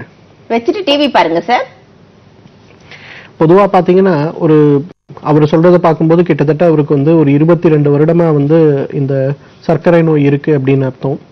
சர்க்கரை நோய்க்கு மாடர்ன் மெடிசன் அந்த நோயை அணுகிறதுலையும் நம்மளுடைய ஆயுர்வேத முறைப்படி சித்த முறைப்படி அந்த நோயை அணுகிறதுலையும் நிறைய வித்தியாசங்கள் இருக்கிறத நம்ம பார்க்குறோம். ஆயுர்வேத மருத்துவத்தின்படி பார்த்தீங்கன்னா உடலுடைய பலத்தை மீண்டும் உடலுக்குள் கொண்டு வருவது அப்படிங்கிறது தான் சர்க்கரை நோய் கழிக்கக்கூடிய ஒரு தீர்வு. அப்படி நம்ம அந்த தீர்வை அளிக்கும் போது சர்க்கரை நோய் கட்டுப்படுவது மட்டுமல்ல உடலில் இருக்கக்கூடிய உறுப்புகள் குறிப்பாக தசைகள் தசை நார்கள் இரத்த குழாய்கள் அதில் ஏற்படக்கூடிய அழற்சிகளை தடுப்பது அப்படிங்கிறது தான் நம்ம கொடுக்கக்கூடிய பிரைமரி ட்ரீட்மெண்ட் மாடர்ன் மெடிசனை பொறுத்தவரையிலும் ரத்தத்துல எவ்வளவு சர்க்கரை இருக்கு அது கண்ட்ரோலா இருக்கா இல்லையா? அவ்வளவுதான். அதனால தான் பார்த்தீங்கன்னா மாடர்ன் மெடிசனை நம்ம எடுத்துக்கொள்ளும் போது சர்க்கரை நோயும் கட்டுப்படுவது கிடையாது. சர்க்கரை நோயினால் ஏற்படக்கூடிய பாசிபிள் பக்க விளைவுகள்னு சொல்லக்கூடிய டயபெட்டிக் நியூரோபதி நெஃப்ரோபதின்னு சொல்லக்கூடிய பிரச்சனை இதய சம்பந்தப்பட்ட பிரச்சனை இரத்த குழாய்களில் ஏற்படக்கூடிய பிரச்சனை கால்களில் இருக்கக்கூடிய உணர்ச்சியற்ற தன்மை சம்பந்தப்பட்ட பிரச்சனை. இந்த மாதிரி பிரச்சனைகள் மாறாமல் இருக்கிறது நாளுக்கு நாள் அதிகமாகிறது. சரி இந்த பிரச்சனையை எப்படி குணப்படுத்துறது அப்படின்னு பார்த்தீங்கன்னா இதற்கு மூன்று வகையான விஷயங்களை நம்ம எடுத்துக்கணும். ஒன்று ஆயுர்வேத பஞ்சகர்ம சிகிச்சைகள். பொதுவாக அபியங்கம் சொல்லக்கூடிய சிகிச்சை இலைக்கிழி மற்றும் பொடிக்கிழின்னு சொல்லக்கூடிய சிகிச்சை அதே போல பிழிச்சல்னு சொல்லக்கூடிய சிகிச்சை நவரைக்கிழின்னு சொல்லக்கூடிய சிகிச்சை. இந்த நான்கு சிகிச்சைகளையும் ஒன்றன் பின் ஒன்றாக ஒரு மூன்று அல்லது ஆறு வாரங்கள் எடுத்துக்கொள்ளும் போது உடல் நல்ல பலப்படுறதை நம்ம பார்க்க முடியும். இரண்டாவது உணவு கட்டுப்பாடுகள். இன்றைக்கு சர்க்கரை நோய் ஏற்படும் போது எல்லாருமே நம்ம ஃபோக்கஸ் பண்ணக்கூடிய விஷயம் எதா இருக்கு? எதை சாப்பிடக்கூடாது அப்படிங்கிறது தான் இருக்கே தவிர எதை சாப்பிடணும் அப்படிங்கிறது இருக்கிறது கிடையாது. இதுதான் நம்மளுடைய மருத்துவ முறைக்கும் மாடர்ன் மெடிசனுக்கும் இருக்கக்கூடிய ஒரு மிகப்பெரிய வித்தியாசம். நம்ம மருத்துவ முறையை பொறுத்தவரையில நம்ம என்ன சொல்லி கொடுப்போம் அப்படின்னு பார்த்தீங்கன்னா என்ன சாப்பிடணும்? எந்தெந்த ஊட்டச்சத்துக்கள் அதிகமாக சேர்க்க வேண்டும்? எந்த காய்கறிகள் அதிகமாக சேர்க்க வேண்டும்? எந்த பழங்கள் அதிகமாக சேர்க்க வேண்டும்? எந்த வகையான உடற்பயிற்சிகள் உங்களுக்கு வயதுக்கேற்றாற் போல நீங்கள் அதிகம் செய்ய வேண்டுங்கிறத உங்களுக்கு சொல்லிக் கொடுக்கிறது அப்படிங்கிறது இரண்டாவது ட்ரீட்மெண்ட்டு மூன்றாவது நம்மளுடைய ஸ்ரீவர்மா ஆயுர்வேத மருத்துவமனையில் பார்த்தீங்கன்னா ரசாயன சிகிச்சை அப்படின்னு சொல்லுவோம். அதாவது ரெஜுவனேஷன் தெரப்பின்னு சொல்லக்கூடிய சில வகையான மருந்துகள் இருக்கு. அந்த மருந்துகளை சர்க்கரை நோயாளிகள் தொடர்ந்து எடுக்க ஆரம்பிக்கும் போது சர்க்கரை நோய் கட்டுக்குள் வருவது மட்டுமல்ல இன்சுலின் டிபெண்டா நீங்கள் இருந்தீங்கன்னா கூட ஆறு மாதம் நாங்கள் சொல்லக்கூடிய இன்ஸ்ட்ரக்ஷனை நீங்கள் ஃபாலோ பண்ணும்போது இன்சுலின் தேவையே இல்லாத ஒரு நிலைமை ஏற்படுறதையும் பார்க்க முடியும். அதே போல சர்க்கரை நோயுடைய பக்க விளைவுகள் நீங்க சொல்லக்கூடிய கை கால் கருப்பா இருக்கு கை கால்கள்ல உணர்ச்சியற்ற தன்மை இருக்கு நீங்க சொல்லக்கூடிய பிரச்சனைகள் படிப்படியாக குறைந்து குணமாகிறதையும் நம்ம பார்க்க முடியும். அதனால வந்து உங்களால முடிஞ்சதுன்னா ஒரு முறை நம்மளுடைய மருத்துவமனைக்கு வாங்க. சென்னையில கோடம்பாக்கம் அம்பத்தூர் திருவள்ளூர் பெங்களூர் ஓசூர் பாண்டிச்சேரி மற்றும் மருத்துவ முகாம்கள் பார்க்கும்போது திருச்சி மதுரை வேலூர் இந்த இடங்கள் எல்லாம் மருத்துவ முகாம்கள் இருக்கு. இந்த இடத்துக்கு பக்கத்தில் இருக்கக்கூடியவர்கள் யாராக இருந்தாலும் உங்களுடைய சர்க்கரை லேட்டாக நீங்கள் டெஸ்ட் பண்ண ரிப்போர்ட்டு அதுக்கப்புறம் நீங்கள் ஃபாலோ பண்ணிட்டு இருக்கக்கூடிய மருந்துகள் இந்த எல்லா லிஸ்ட்டையும் எடுத்துட்டு வந்து நம்ம மருத்துவர்களை சந்திச்சிங்கன்னா உங்களுக்கு தேவையான தனிப்பட்ட சிகிச்சை திட்டம் என்னங்கிறத அவங்க சொல்லி கொடுப்பாங்க. கரெக்டாக நீங்கள் ஃபாலோ பண்ணீங்கன்னா இந்த பிரச்சனைகள் வேகமாக குணமாகிறத பார்க்க முடியும். இப்ப அந்த கை கால்கள் உணர்ச்சியற்ற தன்மையை குறைப்பதற்கு மகாராஜ தைலம் ஒரு மிகச்சிறந்த மருந்து. மகாராஜ தைலம் வாங்குங்க சூடு பண்ணுங்க கை கால்கள்லாம் நல்லா தடவுங்க. ரத்த ஓட்டம் ரொம்ப நல்லா இம்ப்ரூவ் ஆகும். கை கால்களில் இருக்கக்கூடிய கருமையான தன்மை குறையும். அந்த உணர்ச்சியற்ற நம்னஸும் கொஞ்சம் கொஞ்சமா குறையறத நம்ம பார்க்கலாம். நிச்சயமா டாக்டர். அவங்களுக்கான தீர்வு உடனடி தீர்வும் நீங்க கொடுத்திருக்கீங்க. அடுத்ததா பழனியில இருந்து ஹம்சவேணி அப்படிங்கிற நேயர் இருக்காங்க. ஹம்சவேணி மேடம் வணக்கம். இது பொதிகை தொலைக்காட்சியின் ஹலோ டாக்டர் நிகழ்ச்சி. உங்களுடைய கேள்வியை கேட்கலாம். வணக்கம் மேடம் தொடர்புல இருக்கீங்க? டாக்டர் இருக்காங்க. சார் எனக்கு இடுப்பு வலிங்க சார் சரிங்கம்மா முப்பதாச்சுங்க சார் முப்பதாச்சுங்களா இடுப்பு முப்பது வயசாச்சு ஓகே எந்த நேரத்துலமா இந்த இடுப்பு வலி அதிகமா தெரியுது? எந்த நேரம் வேலை செய்யும்போது கூட அப்படிக்காக தெரியுது இல்லைங்க சார் எந்த நேரம் அப்படியே ரொம்ப கடுகடுக்கிற மாதிரி ரொம்ப வலிக்குதுங்க சார் ம். லெஃப்ட் சைடு காலு ஃபுல்லா அப்படியே கடுகடுக்கிற மாதிரி இருக்குதுங்க சார். ஒரு நேரம் அப்படியே மரமரப்பா இருக்கிற மாதிரி இருக்குதுங்க சார். இடுப்பு வலி ரொம்ப ஒண்ணுமே செய்ய முடியலைங்க சார். நிறைய வைத்தியம் பார்த்துட்டேங்க சார். ஸ்கேன் சிடி ஸ்கேன் எடுத்து பார்த்தேங்க சார். எதுவுமே இல்லம்மா அப்படின்னு சொல்லிட்டாங்க சார். நானும் மருந்து மாத்திரை எல்லாம் சாப்பிட்டு எதுவுமே கேட்கலைங்க சார். சரிங்கம்மா நீங்க தொலைபேசி வச்சிருங்க. உங்களுக்கான தீர்வை நான் சொல்லித் தரேன். பொதுவா பாத்தீங்கன்னா இந்த மாதிரி இடுப்பு வலிகள் ஏற்படும் போது எல்லாம் நம்ம எதிர்பார்க்கிறது என்ன? சில மாத்திரைகளை சாப்பிட்டா நம்ம உடம்பு குணமாயிருமா? சீக்கிரம் இந்த வலிகள் குறைந்துருமா தான் எதிர்பார்க்கணுமே தவிர இது திரும்ப வராமல் இருப்பதற்கு அந்த இடுப்பு சம்பந்தப்பட்ட எலும்புகளை தசைகளை நரம்புகளை எவ்வாறு பலமாக்கி கொள்ள வேண்டும் அப்படிங்கிற விஷயத்துல நம்ம அதிகமான அக்கறை செலுத்துறது இல்லை சரி பெண்களுக்கு வந்து பொதுவாகவே இடுப்பில் இருக்கக்கூடிய எலும்புகள் அதிகமாக அழுத்துவதற்கு வாய்ப்புகள் அதிகமா? ஸோ அந்த மாதிரி நேரங்களில் நம்ம செய்ய வேண்டியது எலும்புகளை பலப்படுத்தக்கூடிய உணவுகளை முதல்ல சாப்பிடணும்.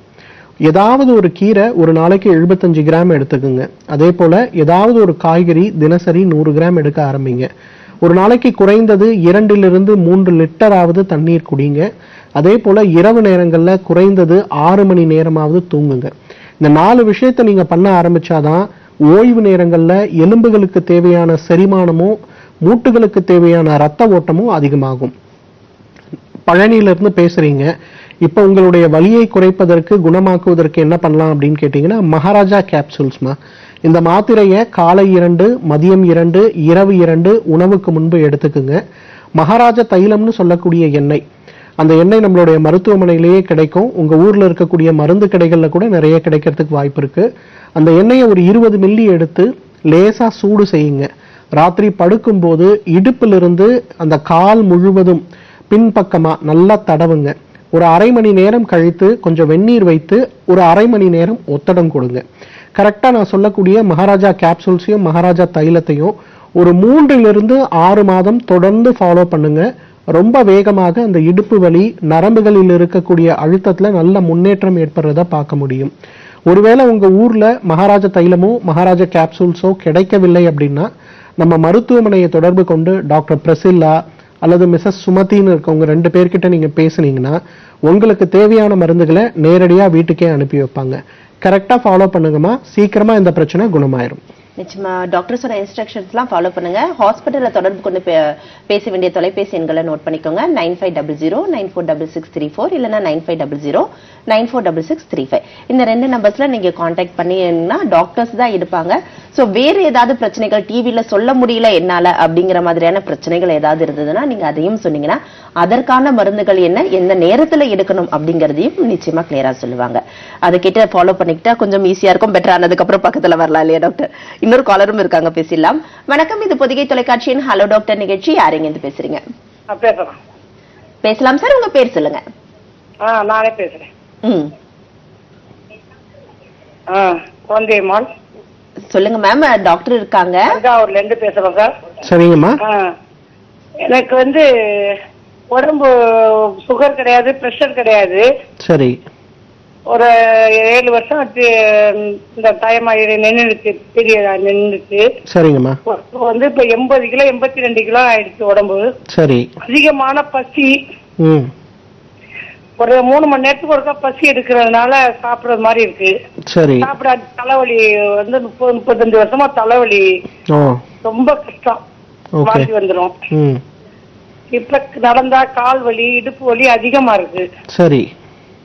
இப்போ ஒரு எண்பது எண்பத்தி ரெண்டு கிலோல இருக்கு உடம்பு. அசதி அடிக்கடி வந்துருது. சாப்பிட பசி வந்துகிட்டே இருக்கு. சரி. அது என்ன காரணம்னு எனக்கே தெரியல. ரொம்ப சிந்தனைகளும் ரொம்ப அதிகமாமா ஆமா. ம். சிந்தனைகள் கோபங்களும் ரொம்ப கொஞ்சம் கூடுதல் தான் இல்லையா? கோபங்கள்லாம் கூட கொஞ்சம் குறைச்சு வேலை.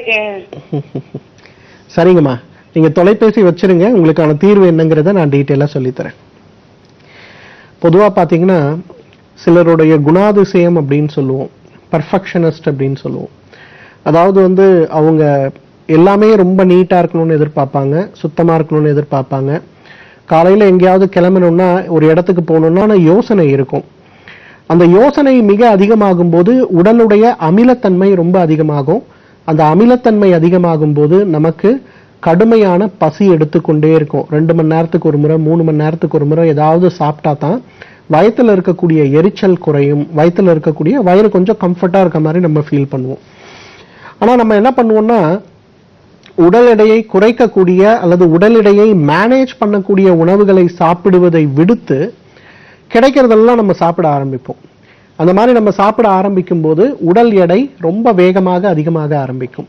குறிப்பாக பெண்களுக்கு மெனோபாஸ்க்கு அப்புறம் இயற்கையாகவே அதிகமாகும். பட் இந்த டைம்ல இன்னும் அதிகமாகும். அப்போ அதனால உடல் வலி முதுகு வலி கழுத்து வலி இந்த மாதிரி நிறைய பிரச்சனைகள் ஏற்படுறதை நம்ம பார்க்குறோம். ஸோ உங்களுக்கு குழந்தையம்மாள் உங்களுக்கு தேவையானது என்ன அப்படின்னு பார்த்தீங்கன்னா முதல்ல உடலை சுத்தப்படுத்தக்கூடிய டீடாக்ஸ் தெரப்பி அப்படிங்கிறத ஒன்று நம்ம எடுத்துக்கணும். இரண்டாவது மனப்பயிற்சி மெடிடேஷன் சம்பந்தப்பட்ட விஷயங்களில் நீங்கள் ஃபோக்கஸ் பண்ணணும். இது ரெண்டும் நீங்கள் பண்ண ஆரம்பிச்சிங்கனாலே ஒரு இரண்டிலிருந்து நான்கு மாதத்துக்குள்ள உங்களுக்கு இருக்கக்கூடிய அந்த அதிகமான பசி வந்து குறையிறத நம்ம பார்க்கலாம். அதே நேரத்தில் உணவு கட்டுப்பாடுகளும் நாங்கள் கொடுப்போம். உணவு கட்டுப்பாடுகள் அப்படின்னும் போது ஐயோ நான் சாப்பாடை குறைச்சிட்டா எப்படி பசி தாங்குவேங்கிற கவலை நம்ம எல்லாருக்குமே வரும். நாங்கள் உங்களுக்காகவே என்ன பண்ணியிருக்கோம்னா உங்கள உங்களை மாதிரி இருக்கக்கூடியவர்களுக்காகவே என்ன பண்ணியிருக்கோம்னா எட்டு முறை சாப்பிடக்கூடிய உணவுகளை வகுத்திருக்கிறோம். காலையில் ஏழு மணிக்கு என்ன சாப்பிடணும்? ஒன்பது மணி பதினோரு மணி ஒரு மணி நான்கு மணி ஏழு மணி திருப்பி ஒன்பது மணி. ஸோ இந்த மாதிரி ஒரு ரொட்டீன் நீங்கள் ஃபாலோ பண்ணும்போது இதில் இருக்கக்கூடிய உணவு முறைகள்லாம் பார்த்தீங்கன்னா ரொம்ப சுலபமாக நீங்கள் வீட்டில் ஃபாலோ பண்ணக்கூடியது. ஆனால் இது உடல் எடையை அதிகரிக்காது. அதே நேரத்தில் உடலுக்கு தேவையான ஊட்டச்சத்துக்களை கொடுக்கக்கூடிய உணவு முறைகள். ஸோ இதை நீங்கள் கொஞ்சம் ஃபாலோ பண்ண ஆரம்பிச்சீங்கன்னா ரொம்ப வேகமாக உங்களுடைய உடல் எடை குறையிறத பார்க்கலாம். நாங்கள் சொல்கிற மாதிரி ஒரு ஆறு மாதம் முதல் ஒரு வருடம் வரை நீங்கள் ஃபாலோ பண்ணுங்கள் உங்களுக்கு இருக்கக்கூடிய எல்லா பிரச்சனையும் குணமாகிறத நம்ம பார்க்க முடியும். நீங்கள் தஞ்சாவூரில் இருக்கீங்க. உங்களால் முடியும்னா இந்த சனிக்கிழமை அன்று பார்த்தீங்கன்னா பெண்களுக்கான உடல் பருமன் சிகிச்சை சிறப்பு நிபுணர் டாக்டர் ஜெயரூபா வந்து பாண்டிச்சேரி வராங்க. பாண்டிச்சேரி மருத்துவமனையில் அவங்கள காலையில் ஒன்பதுலேருந்து மாலை ஐந்து மணி வரை நேரில் சந்திக்கலாம். நீங்கள் ஒரு முறை போய் அவங்கள சந்திச்சிங்கன்னா உங்களுக்கு தேவையான உணவு கட்டுப்பாடுகள் என்ன மருந்துகள் என்ன என்ன டீடாக்ஸ் தேவை உடலை சுத்தப்படுத்தக்கூடிய பேதிக்கு சாப்பிடக்கூடிய மருந்துகள் என்னங்கிறத பற்றி டீட்டெயிலாக சொல்லி கொடுப்பாங்க. அப்படி ஒருவேளை உங்களுக்கு இந்த வாரம் அவங்கள பார்க்க முடியலன்னா அடுத்த வாரம் அடுத்த சனி ஞாயிறு இரண்டு நாட்கள் நம்மளுடைய டாக்டர் அருள் மற்றும் டாக்டர் ஜெயகாந்தன். இரண்டு மருத்துவர்கள் திருச்சிக்கே வராங்க. அவங்கள நீங்கள் நேரில் போய் பார்த்தீங்கன்னா கூட உங்களுக்கு தேவையான விஷயங்களை சொல்லி கொடுப்பாங்க. கொஞ்சம் கரெக்டாக ஃபாலோ பண்ணிங்கன்னா ரொம்ப வேகமாக உங்களுடைய கம்ப்ளைண்ட்ஸ் எல்லாம் குறையிறத நம்ம பார்க்கலாம். நிச்சயமா டாக்டர் அவங்களுக்கு சொன்னீங்களோ இல்லையா நிறைய பேருக்கு இது யூஸ்ஃபுல்லா இருக்கும். ரொம்ப ஆர்வமா நானே கேட்டுட்டு இருக்கேன் யூஸ்வலா உடம்ப குறைக்கணும்னா இந்தந்த நேரங்கள்ல சாப்பிடவே கூடாதுன்னு சொல்லுவாங்க. நீங்க ரெண்டு மணி நேரத்துக்கு ஒரு தடவை சாப்பிடலாம் அப்படின்னு சொல்றது கேட்டுட்டு இருக்கவங்களுக்கு அப்படியே தேனை வந்து காதுல ஊத்துற மாதிரி இருக்கும். என்ன மாதிரியான உணவுகளா இருக்கும் டாக்டர் அந்த ரெண்டு மணி நேரத்துக்கு சரி சாப்பிடுறது. பொதுவா நம்ம என்ன பண்ணியிருக்கோம்னா ஒரு பேச்சுலர் அதாவது வந்து சமைக்க தெரியாத ஒரு நபர் உடல் எடையை குறைக்கணும்னா என்ன தேவை அப்படிங்கிறத யோசிச்சு திங்கள் முதல் ஞாயிறு வரை காலை எழுந்ததிலிருந்து இரவு படுக்கும் வரை என்ன சாப்பிடணுங்கிறத ரொம்ப அழகான கிளாசிஃபிகேஷனாக பண்ணியிருக்கோம். இந்த ஒரு உணவில் பார்த்தீங்கன்னா உடலுக்கு தேவையான ஆன்டி ஆக்சிடென்ட்ஸ் நிறைய கிடைக்கும். புரதச்சத்து ரொம்ப நிறைய கிடைக்கும். மெக்னீஷியம் சம்பந்தப்பட்ட பாஸ்பரஸ் சம்பந்தப்பட்ட பொட்டாசியம் சம்பந்தப்பட்ட விஷயங்கள் நிறைய கிடைக்கும். அதே போல் கார்போஹைட்ரேட்ஸ் அப்படின்னும் போது மிக குறைவான கார்போஹைட்ரேட்ஸ் இப்போ காலையில் நீங்கள் நாலு இட்லி சாப்பிட்டு தான் ஒரு மணிக்கு சாப்பாடு சாப்பிடணும்னு அவசியம் கிடையாது. காலையில் கோதுமை சம்பந்தப்பட்ட கம்பு சம்பந்தப்பட்ட உணவுகளை எடுத்துக்கொள்வது போலவே காலையில் ஒரு அரை முடி தேங்காய் எடுங்க கட் பண்ணுங்க. காலையில் பிரேக்ஃபாஸ்ட்டுக்கு அதை சாப்பிட்லாம். இதை செய்யறதுக்கு வந்து மிகப்பெரிய சமையல் கலை அவசியமே கிடையாது. மதிய உணவுன்னு வரும்போது லெவன் ஓ கிளாக்னு வரும்போது ரெண்டு கேரட் எடுத்து கட் பண்ணுங்க சாப்பிடுங்க. இதுக்கும் பெரிய சமையல் நமக்கு தேவை கிடையாது. மதிய உணவுன்னு வரும்போது ஏதோ ரெண்டு காய்கறி இல்லை நீங்கள் ஹோட்டலில் சாப்பிட்றதா இருந்தால் தாராளமாக அதை கூட சாப்பிட்லாம். ஒரு நான்கு மணிக்கு வரும்போது இன்றைக்கு வேக வைத்த சோளமும் வேக வைத்த பயறுகளும் மார்க்கெட்டில் எல்லா இடத்துலையும் கிடைக்கக்கூடிய விஷயமா இருக்கு. அதை சாப்பிட்லாம். இரவு உணவுன்னு வரும்போது மீண்டும் நீங்கள் ஹோட்டலில் சாப்பிட்றதா இருந்தால் சாப்பிடுங்க. இரவு படுக்கும்போது பாலில் வந்து பனங்கற்கண்டோ அல்லது தேனோ கலந்து சாப்பிடுங்க. காலை எழுந்தவுடன் அதே போல கொஞ்சம் கிரீன் டீயோ அல்லது வந்து பிளாக் டீயோ சாப்பிடுங்க. முடிஞ்ச அளவுக்கு பால் உணவுகளை குறைங்க அப்படின்னு சொல்லுவோம். ஸோ இது இந்த மாதிரி ஒரு உணவுகள் தான். இதை செய்யறதுக்கு நம்ம ஒன்றும் கஷ்டப்படணும்னு அவசியமே இல்லையே. யார் வேணா செய்யலாமே. இதோட பியூட்டி என்னன்னு கேட்டீங்கன்னா உடல் இயங்கத்திற்கு தேவையான எல்லா சத்துக்களுமே இதுல இருக்கு. நீங்க நாலு இட்லி சாப்பிட்டு தான் ரெண்டு மணி நேரம் நடக்கணும்னு அவசியம் கிடையாது. ஒரு தேங்காவை நீங்க அரை மூடி சாப்பிட்டீங்கன்னா நீங்க ரெண்டு கிலோமீட்டர்ல எட்டு கிலோமீட்டர் நடக்கலாம். உங்க உடம்புல அவ்வளவு ஆரோக்கியம் இருக்கும். ஸோ இந்த மாதிரி சின்ன சின்ன விஷயங்களை சேர்த்து செய்யக்கூடிய ஒரு உணவு பழக்கங்கள் நெத்- எனக்கு தெரிஞ்சு ஒரு ஆறு மாசம் இதை ஃபாலோ பண்ணி இருபத்தி ஒன்பது கிலோ வரை குறைந்தவர்கள் கூட நிறைய பேர் இருக்காங்க.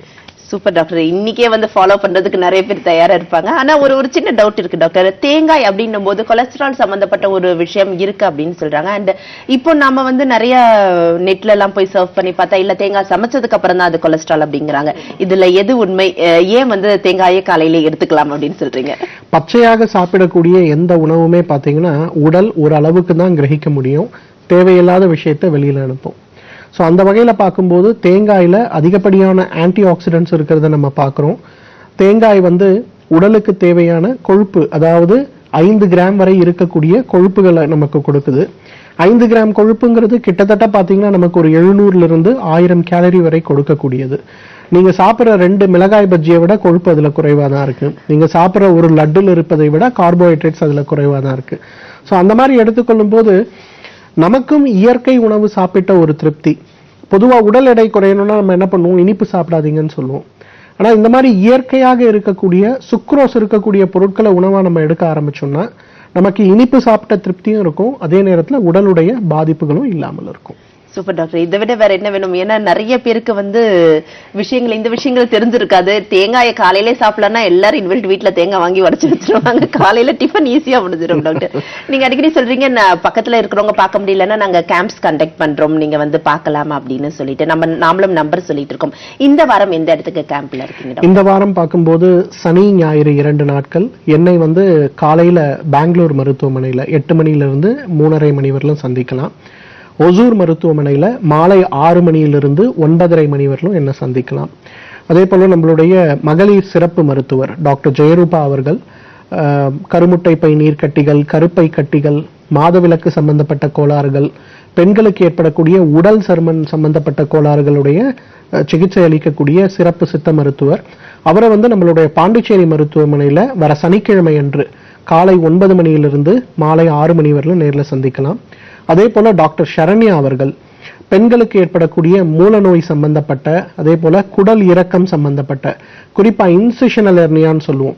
நிறைய பெண்கள் பாத்தீங்கன்னா குழந்தை பிறப்புக்கான ஆபரேஷன் பண்ண பிறகு அந்த இடத்துல குடல் இறக்கம் வரும். அந்த இடத்துல திருப்பவும் ஆபரேஷன் பண்ணணும்னு சொல்லுவாங்க. அந்த மாதிரி ஆபரேஷனை தடுப்பதற்கு தேவையான ஆயுர்வேத சிகிச்சை அளிக்கக்கூடிய சிறப்பு ஆயுர்வேத மருத்துவர். அவரையும் பாண்டிச்சேரி மருத்துவமனையில சனிக்கிழமை காலை ஒன்பதிலிருந்து ஆறு மணி வரை நேர்ல சந்தித்து ஆலோசனை பெறலாம். அது மட்டும் இல்லாமல் ஒவ்வொரு வாரமும் என்னை வந்து செவ்வாய்க்கிழமை அன்று காலை ஒன்பதிலிருந்து ஒரு மணி வரை திருவள்ளூர் மருத்துவமனையிலையும் மதியம் இரண்டிலிருந்து ஐந்து மணி வரை அம்பத்தூர் மருத்துவமனையிலும் நேரில் சந்திக்கலாம். டாக்டர் சரண்யா அவர்களை ஒவ்வொரு வாரமும் வியாழக்கிழமை அன்று இன்று கூட வியாழக்கிழமை தான் இன்றைக்கு பார்த்தீங்கன்னா மதியானம் ரெண்டுலேருந்து ஐந்து வரை அவங்கள அம்பத்தூர் மருத்துவமனையில் சந்திக்கலாம். நாளை அதாவது வந்து வெள்ளிக்கிழமை அன்று காலை ஒன்பதிலிருந்து இரண்டு வரை டாக்டர் ஜெயரூபா அவர்களை அம்பத்தூர் மருத்துவமனையில் சந்திக்கலாம். அடுத்த வாரம் பார்த்தீங்கன்னா திருச்சியில் மருத்துவ முகாம் இருக்குது டாக்டர் ஜெயகாந்தன் டாக்டர் அருள் இரண்டு பேர் திருச்சிக்கு வராங்க. நம்ம மருத்துவமனையை நீங்கள் தொடர்பு கொண்டீங்கனாலே உங்களுக்கு எந்த வாரம் எந்தெந்த மருத்துவர்கள் கேம்ப்ல இருக்காங்க எப்போ பார்க்கலாங்கிற தகவலை சொல்லி கொடுப்பாங்க. கொஞ்சம் அதுபடி நீங்கள் பிளான் பண்ணிட்டு வந்து தாராளமாக பார்க்கலாம். மருத்துவ முகாம்களை மருத்துவர்களை சந்திப்பதற்கு எந்த விதமான ஆலோசனை கட்டணமும் கிடையாது. உங்களுக்கு என்ன மருந்துகள் தேவைன்னு சொல்லுவாங்க அதே போல உங்களுக்கு தேவையான உணவு கட்டுப்பாடுகள் கொடுப்பாங்க. இந்த ரெண்டு விஷயத்த நீங்க ஃபாலோ பண்ணலாம். தேவைப்பட்டா சென்னையோ அல்லது பாண்டிச்சேரியோ வந்து உங்களுக்கு தேவையான உடற்பயிற்சிகள்ல நீங்க இன்னும் நல்லா கவனம் செலுத்தலாம். நிச்சயமா இது ஒரு நல்ல வாய்ப்பை எல்லாருமே பயன்படுத்திக்குவாங்க நம்மளோட டாக்டர் இன்னொரு காலர் இருக்காங்க பேசிடலாம். வணக்கம் இது பொதுகை தொலைக்காட்சியின் ஹலோ டாக்டர் நிகழ்ச்சி. யாருங்க இருந்து பேசுறீங்க? வணக்கம். வணக்கம் சார். மேடம் வணக்கம் மேடம். வணக்கம் உங்க பேர் சொல்லுங்க சார். என் பேர் சோனிமுத்து மேடம். காரைக்குடியில இருந்து பேசுறேன் மேடம். சரிங்க டாக்டர் இருக்காங்க. உங்களுடைய கேள்வி கேளுங்க. சார் குதிங்கால் வலி இருக்குங்க சார் அந்த கால்லையும் ஓ என்ன வயசாச்சு சோனைமுத்து உங்களுக்கு? ஐம்பது வயசு ஆச்சுங்க சார். எந்த நேரங்கள்ல இந்த வலி அதிகமா இருக்கு? காலையில எழுந்துக்கும் போதா? சார் காலம்பர படுத்து எந்திரிச்சா வலி இருக்குங்க சார். ம். கொஞ்சம் தொலை நடந்தோம்னா கொஞ்சம் ரிலீஃபா இருக்கு சார். அப்புறம் இந்த வேலையில அந்த இது தெரிய மாட்டேங்குது சார். சரி. நைட்டு படுத்து எந்திரிச்சா தான் சார்? பயங்கர வலியா இருக்கு. சரிங்க சோனைமுத்து. தொலைபேசி வச்சிருங்க. உங்களுக்கான தீர்வை நான் டீட்டெயிலா சொல்லித்தரேன். சரிங்க சார். Thank you sir. பொதுவா பாத்தீங்கன்னா இந்த குதிகால் வலிங்கிறது இன்றைக்கு பெரும்பாலும் ஆண்கள் பெண்கள் இருவருக்குமே ஏற்படக்கூடிய மிகப்பெரிய ஒரு பிரச்சனைனே சொல்லலாம். நிறைய பெண்கள் எனக்கு தெரிஞ்சு பாத்தீங்கன்னா என்கிட்ட வரும்போதே கண்ணீரோட அழுவாங்க. சார் இரவு நேரங்கள்ல சிறுநீர் வருது. கழிக்க எழுந்திருக்கிறோம். அந்த டைம்ல பாத்தீங்கன்னா அந்த குதிகால் வலியினால செவிரை பிடிச்சிட்டு கொஞ்சம் கொஞ்சமா நாங்க போக வேண்டியிருக்கு. சில நேரங்கள்ல போறதுக்குள்ள சிறுநீர் க- வந்து விடுகிறது அப்படின்னு சொல்லி கவலைப்படுறவங்க நிறைய பெண்கள் இருக்கிறத பாக்குறோம். ஸோ இந்த குதிகால் வலி அப்படிங்கிறது ரொம்ப சீரியஸான ஒரு பிரச்சனை. இதை குணப்படுத்துறதுக்கு ரொம்ப சுலபமான ஒரு மருந்து நம்ம ஸ்ரீ ஸ்ரீ வர்மா ஆயுர்வேதா ஹாஸ்பிட்டலில் இருக்கு. ஹீல் கேர் கேப்சூல்ஸ்னு சொல்லுவோம். ஹீல் அப்படின்னா குதிகால்னு சொல்லுவோம். கேர் குதிகாலில் ஏற்படக்கூடிய வலிகளை குணப்படுத்தக்கூடிய மாத்திரைன்னு அர்த்தம் அது. அந்த ஹீல் கேர் கேப்சூல்ஸை காலை மூன்று மாத்திரை இரவு மூன்று மாத்திரை உணவுக்கு முன்பு சிறிதளவு வெந்நீரில் கலந்து சாப்பிடணும். ஒரு மூன்று அல்லது ஆறு மாத காலம் தொடர்ந்து இந்த மாத்திரையை சாப்பிடுங்க. உங்களுடைய குதிகால் வலி வேகமாக குணமாகிறத நம்ம பார்க்க முடியும். அதே போல மகாராஜா தைலம்னு சொல்லக்கூடிய எண்ணெயை வாங்கிட்டு வலி இருக்கக்கூடிய இடங்கள்ல இரவு படுக்கும்போது தடவி கொஞ்சம் வெந்நீர் வைத்து ஒத்தரம் கொடுங்க. சார் நீங்க நம்மளுடைய மருத்துவமனைக்கு தொடர்பு கொண்டுங்க. டாக்டர் பிரிசில்லா இருப்பாங்க அல்லது மிஸ்ஸஸ் சுமதி இருப்பாங்க. யாராவது ஒருத்தர்கிட்ட உங்களுக்கு ஹீல் கேர் கேப்சூல்னு சொல்லக்கூடிய மாத்திரை அதே போல மகாராஜ தைலம் வேணும்னு நீங்க சொன்னீங்கன்னா நேரடியா உங்களுடைய முகவரிக்கே அனுப்பி வைப்பாங்க. ஒரு மூன்று மாத காலம் தொடர் தொடர்ந்து சாப்பிடுங்க சரியாகும். நீங்க காரைக்குடியில பேசுகிறீங்க பேசுறீங்க உங்களால முடியும்னா ஒவ்வொரு மாதமும் இரண்டாவது ஞாயிற்றுக்கிழமை நான் மதுரையில் இருப்பேன். நீங்கள் காரைக்குடியில் இருக்கிறது ஒரு முறை நீங்கள் மதுரைக்கு வர முடியும்னா இரண்டாவது ஞாயிற்றுக்கிழமை அல்லது சனிக்கிழமை நேரில் வாங்க. நான் உங்களை பார்த்துட்டு உங்களுக்கு தேவையான ட்ரீட்மெண்ட் என்னங்கிறத டீட்டெயிலாக சொல்லித்தரேன். நிச்சயமா கேம்ப் பத்தின விஷயங்கள் தெரியணும்னாலோ இல்ல டாக்டர்ஸை தொடர்பு கொண்டு பேசணும்னாலோ இல்ல அப்பாயின்மெண்ட் ஃபிக்ஸ் பண்ணனாலோ நான் நம்பர் சொல்றேன். அந்த நம்பர்ஸ்ல நீங்க காண்டாக்ட் பண்ணலாம். மருந்துகள் அவசியம்னாலும் நீங்க அந்த நம்பர்ஸ்ல காண்டாக்ட் பண்ணீங்கன்னா உங்க வீட்டுக்கு அனுப்பி வைப்பாங்க. Nine five double zero nine four double six three four இல்லைனா nine five double zero nine four double six three five இந்த ரெண்டு நம்பர்ஸில் நீங்கள் காண்டாக்ட் பண்ணி பேசலாம். டாக்டர் மூற்று மாற்று அறுவை சிகிச்சை ஏன் தேவையில்லை? நம்மளுடைய ஆயுர்வேத மருத்துவ முறையில் ஏன் அந்த மாதிரியான ஒரு ஒரு ரிஸ்க் எடுத்து நம்ம உடனே ஒரு கியூர் பண்ணிக்கணும் அப்படின்னு நினைக்கும் போது ஏன் அந்த அறுவை சிகிச்சை இல்லாமல் நம்ம இதில் எந்த அளவுக்கு பெஸ்ட்டாக நம்மளுடைய ட்ரீட்மெண்ட் அமையுது? பொதுவாக பார்த்தீங்கன்னா இப்போ சமீப காலத்தில் ஒரு நியூ டைப் ஆஃப் ட்ரீட்மெண்ட் உங்களுக்கு முட்டு தேஞ்சிருச்சா இல்லை லிகமெண்ட் டேர் ஆயிடுச்சா என்ன பண்ணுறாங்கன்னா உங்களுடைய எலும்பு மஜ்ஜையிலிருந்து உங்களுடைய சில திசு திரவத்தை எடுத்து அதில் இருக்கக்கூடிய திசுக்களை கல்ச்சர் பண்ணி வளர வச்சு அதை உங்களுடைய மூட்டுக்குள்ளே செலுத்தும் போது எந்த விதமான அறுவை சிகிச்சையும் இல்லாமல் உங்களுடைய மூட்டு குணமாகிறது அப்படின்னு சொல்லி சொல்கிறாங்க இதுதான் இன்னைக்கு சென்னையில் லேட்டஸ்ட்டாக அவைலபிளாக இருக்கக்கூடிய ஒரு ட்ரீட்மெண்ட் இதை தான் ஐயாயிரம் வருஷத்துக்கு முன்னாடி நம்ம ஆயுர்வேதத்தில் சொல்கிறோம் நம்ம சொல்லக்கூடிய பஞ்சகர்ம சிகிச்சைகள் நம்ம கொடுக்கக்கூடிய மருந்துகள் நம்ம கொடுக்கக்கூடிய உணவு கட்டுப்பாடுகள் உடற்பயிற்சிகள் எல்லாமே உடலுக்கு தெரியும் எந்த இடத்துல பாதிப்பு இருக்குன்னு. உடல் வந்து பொதுவாக இன்னைக்கு ஒரு லங்ஸில் ஒரு இன்ஃபெக்ஷன் வந்ததுன்னா தேவையான ஒரு வெள்ளை அணுக்களை அந்த இடத்துல அனுப்பி அந்த லங்ஸ் இன்ஃபெக்ஷனை குணப்படுத்துது. அதே போல் ரத்தத்தில் ஒரு இன்ஃபெக்ஷன் இருக்குன்னா சிவப்பணுக்கள் சம்பந்தப்பட்ட வெள்ளை அணுக்களை அனுப்பி அதை குணப்படுத்துது. உடலில் வந்து தோலில் ஒரு காயம் வருது. உடலுக்கு தெரியும். தேவையான திசுக்கள் அந்த இடத்துல எந்த ஊட்டச்சத்துக்கள் கொடுத்தா அந்த காயம் வேகமாக ஆறி தழும்பில்லாமல் போகும் அப்படிங்கிறது நமக்கு சரி பண்ணுது. எலும்பு உடையுது. சேர்த்து வச்சு கட்டுறோம் எலும்பு திசுக்கள் வளருது அது சரியாகுது. அப்ப மூட்டில் இருக்கக்கூடிய ஒரு தேய்மானமோ அல்லது மூட்டில் இருக்கக்கூடிய எண்ணெய் பசையுடைய குறைபாடோ அல்லது மூட்டில் இருக்கக்கூடிய காட்லேஜ் கம்ப்ளீட்டா உங்களுக்கு டேரப் ஆயிருச்சு ஒண்ணுமே இல்லைன்னு சொல்லக்கூடிய பிரச்சனையா இருந்ததுன்னா அப்போ உடம்புக்கு தேவையான சப்போர்ட் சிஸ்டத்தை நம்ம மெயின்டைன் பண்ண முடியும்னா அதாவது பஞ்சகர்ம சிகிச்சைகள் ஆயுர்வேத சித்த மருத்துவத்தில் கொடுக்கக்கூடிய மருந்துகள் ரசாயனம் சம்பந்தப்பட்ட ட்ரீட்மெண்ட்டை நம்ம கரெக்டாக நம்ம கொடுத்தோம்னா உடல் பலவீனமாக இருக்கக்கூடிய உடல் பகுதிகளை பலப்படுத்த போகிறது அந்த பிரச்சனை குணமாக போகிறது. ஐயாயிரம் வருஷத்துக்கு முன்னாடி நம்ம வந்து உடலே செய்வதற்கு என்ன சப்போர்ட் சிஸ்டம் தேவையோ அந்த சப்போர்ட் சிஸ்டத்தை நம்ம கிரியேட் பண்ணி கொடுத்தோம். உடம்பு தானாவே குணமாயிருச்சு. ஐயாயிரம் வருடங்களுக்கு பிறகு இப்ப சொல்றாங்க ஒரு திசுவை எடுத்து கல்ச்சர் பண்ணி திருப்பி உங்க மூட்டுக்குள்ள அனுப்புவோம். அது வந்து குணமாகும்னு சொல்றாங்க. சோ அப்பனா நம்ம ஆயுர்வேதத்தில் இத்தனை வருடங்களாக செய்து கொண்டிருந்த சிகிச்சை எவ்வளவு கரெக்டா செஞ்சிருக்கோம் அப்படிங்கிறத இன்னைக்கு சயின்ஸ் வந்து வேலிடேட் பண்ணியிருக்கிறத நம்ம பார்க்கணும். ஸோ அதனால நிச்சயமா மூட்டு சம்பந்தப்பட்ட பிரச்சனை முதுகுத்தண்டு சம்பந்தப்பட்ட பிரச்சனைகளுக்கு அறுவை சிகிச்சை தேவை கிடையாது. அறுவை சிகிச்சை இல்லாமல் அவை குணமாவதற்கு நிறைய வாய்ப்புகள் இருக்கிறது. நிச்சயமா டாக்டர். இந்த காலகட்டத்தில் எல்லாரும் நிறைய படிச்சிட்டோம். எங்களுக்கு ப்ரூஃப் வேணும் அப்படிங்கிறது தான் முதல்ல இருப்பாங்க. எங்களுக்கு வேணும். நாங்கள் எடுத்து பார்த்தா தான் நாங்கள் நம்புவோம்னு சொல்லக்கூடிய ஆட்கள் நிறைய இருக்காங்க. அவங்களுக்கான ஒரு பதிலாக தான் நான் இதை பார்க்குறேன். அறுவை சிகிச்சை இல்லாமல் கட்டாயமாக மூட்டு மாற்று அறுவை சிகிச்சை இல்லாமே மூட்டுகளில் நம்மளுக்கு அந்த வலிமை வரும் அப்படிங்கிறது ரொம்ப நல்ல விஷயம் தான். இப்போ நிறைய பேர் பார்க்குறோம். எல் ஃபோர் எல் ஃபைவ் ஜாயின்ஸில் வந்து நிறைய பிரச்சனை இருக்குது ஈவன் ஸ்கூல் கோயிங் சில்ட்ரன்ஸ்க்கு கூட அங்கே ஒரு கம்ப்ரெஷன் இருக்குது நீங்கள் வந்து செட்டிங் போஸ்டர் மாற்றணும் சின்ன சின்ன எக்ஸசைஸ் பண்ணணும். அந்த முதுகில் வந்து பேக் மாட்டக்கூடாது அப்படின்னு சொல்லக்கூடிய விஷயங்கள்லாம் நம்ம பார்க்குறோம்.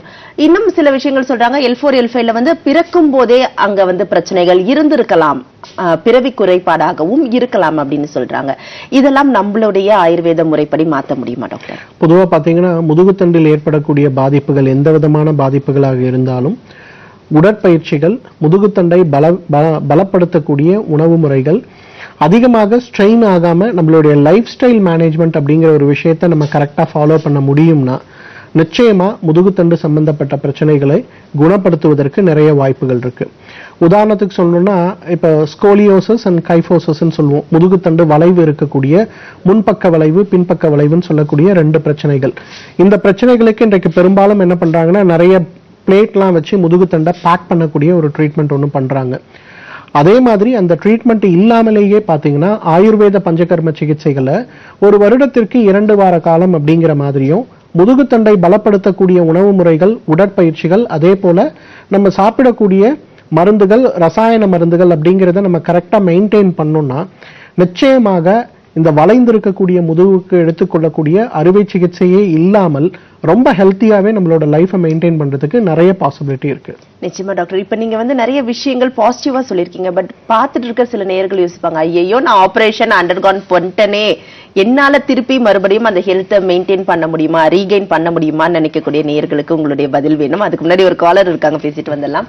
வணக்கம் இது பொதிகை தொலைக்காட்சியின் ஹலோ டாக்டர் நிகழ்ச்சி. யாருங்க இருந்து பேசுறீங்க? வணக்கம். வ- வணக்கங்க வணக்கம் உங்க பேர் சொல்லுங்க. எங்க பேர் வேதவல்லி. முசிறில இருந்து பேசுறேங்க. டாக்டர் இருக்காங்கம்மா? உங்க கேள்வியை கேளுங்கம்மா. டாக்டர். வணக்கம்மா. வணக்கம். சொல்லுங்கம்மா. சார் நான் வெயிட் வந்து அறுபத்தி எட்டு கிலோ இருக்கேங்க சார். சரிங்கம்மா. ஹைட் ஹைட் வந்து நாலே முக்கால் அடி தான். சரி. எனக்கு வந்து என் உடம்பு எடை குறையணும். அதனால குறைக்க முடியும் பேக் பெயின் வலி வருதுங்க. ஒரு மணி நேரம் உட்கார்ந்து இருக்க முடியாது. தொடர்ந்து இடுப்பு வலி தான் அதிகமா இருக்கு முதுகு வலி. சரிங்கம்மா. பாதமும் அதாவது நின்றுட்டு சமைக்கிறதுனாக்க ஒரு மணி நேரத்துக்கு பாதம் வலிக்குது. சரி. என்ன வயசாச்சுங்கம்மா உங்களுக்கு? வயசு முப்பத்தி ஒன்பது முப்பத்தி ஒன்பது ஆச்சு. சரிங்கம்மா. நான் உங்களுக்கு ஒரு சின்ன சொன்னீங்கன்னா நான் எக்ஸசைஸ் பண்ணேங்க சார் காலையில ஒரு அரை மணி நேரம் ஹாஃப் அன் ஹவர் ரெண்டு கிலோமீட்டர் நடந்தேன். நாலு கிலோமீட்டர் நடந்து ஒன்றும் அதுக்கு இது தெரிய மாட்டேங்குது. எடை குறைய மாட்டேங்குது. பரவாயில்ல. நான் சொல்லித்தரேம்மா உங்களுக்கு. ஆ சரிங்க சார் தேங்க்யூ சார் பொதுவா பாத்தீங்கன்னா அஹ், உடல் எடை குறைக்கணும்னு நினைக்கிறவங்க முதல்ல வந்து ஒரு மூன்று மாதம் அந்த ரொட்டீனை ஃபாலோ பண்ண முடியுமா அப்படிங்கறத பார்க்கணும். ஏன்னா ஒரு மூன்று மாதத்திற்கு மேலே தான் நமக்கு உடல் எடையில் மாற்றங்கள் ஏற்படுவதை பார்க்க முடியும். உடல் எடை குறையறதுக்கு ரொம்ப சிம்பிளாக நாங்கள் ஒன்று சொல்லுவோம். சிம்பிள் ஆப்பிள் டயட் அப்படிங்கிறது ஒன்று சொல்லுவோம். காலை உணவுக்கு முன்பு ஒரு ஆப்பிள் மதிய உணவுக்கு முன்பு ஒரு ஆப்பிள் இரவு உணவுக்கு முன்பு ஒரு ஆப்பிள்னு சாப்பிடணும். ஆப்பிள் சாப்பிட்டுட்டு உடனே உங்களோட பிரேக்ஃபாஸ்ட் என்ன இருக்கோ சாப்பிடுங்க. அதே போல் ஆப்பிள் சாப்பிட்டுட்டு உங்களோட மதிய உணவு ஆப்பிள் சாப்பிட்டுட்டு உங்களோட இரவு உணவு. அதே போல் உணவில் ஒரு நாளைக்கு குறைந்தது எழுபத்தி ஐந்து கிராம் கீரையும் ஒரு நாளைக்கு இருநூறு கிராம் காய்கறியும் ஒரு மாதிரி பார்த்துங்க. நான் இந்த 75 கிராம் சொல்றது இரண்டு மூன்று வேலைக்கு சேர்த்து இருநூறு கிராம் காய்கறிங்கிறது இரண்டு மூன்று வேலைக்கும் சேர்த்து இருக்கக்கூடிய உணவு. குறைந்தது ஒரு நாளைக்கு மூன்று லிட்டராவது தண்ணீர் குடிங்க. இது கூட ஒரு நாளைக்கு குறைந்தது முப்பது நிமிடம் நடைப்பயிற்சி செய்ய முடியுமான்னு பாருங்க. உங்களால முடியும்னா அடுத்த வாரம் திருச்சி மருத்துவ முகாமுக்கு டாக்டர் ஜெயகாந்தன் டாக்டர் அருள் ரெண்டு பேர் வராங்கம்மா. நீங்க நேர்ல வந்து அவங்கள ஒரு முறை சந்திச்சீங்கன்னா கூட உங்களுக்கு ஒரு டயட் பிளான் கொடுப்பாங்க. அதையும் சேர்த்து ஃபாலோ பண்ண முடியுமான்னு பாருங்க. பொதுவா உடல் எடை குறைக்க செய்யக்கூடிய முயற்சிகள் எதாக இருந்தாலும் குறைந்தது ஆறு மாதம் இடைவிடாமல் நீங்க செய்யணும். நீங்க செஞ்சீங்கன்னா நிச்சயமா உடல் எடை ஆறு மாதத்துல ஐந்திலிருந்து பத்து கிலோ வரை குறைவதற்கு நிறைய வாய்ப்புகள் இருக்கு. கொஞ்சம் முயற்சி பண்ணி பாருங்க.